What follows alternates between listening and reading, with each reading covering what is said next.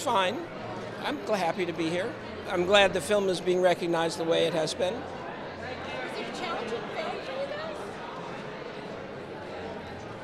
guys? I mean, all films are challenging in their own way, and this this one was particular, you know, in its in that it had to do with these manic characters, you know, and so that's a challenge in itself.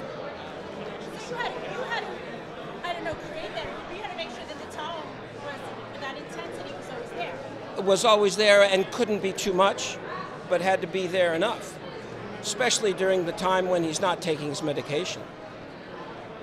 It was, it was, it was a ride. I can imagine what it was like to edit it because watching it, it was really, it was intense. It was a ride. It was a lot going on.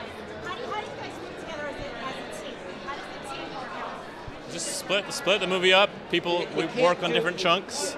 You have to. It has to be. Yeah, you have to break it into different parts, you know, and that's what you do. You just sort of say, okay, you work on that, and then I'll work on this, because you can't work on the same thing. So you don't work on the, s- you don't, you take part of it and he takes part of it. Yeah. Uh, that's, that's fascinating.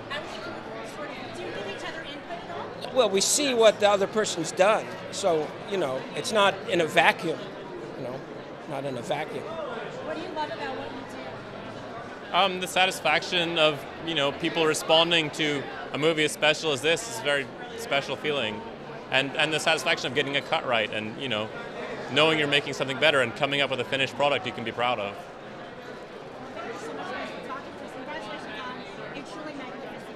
Thank you. We're happy that it did.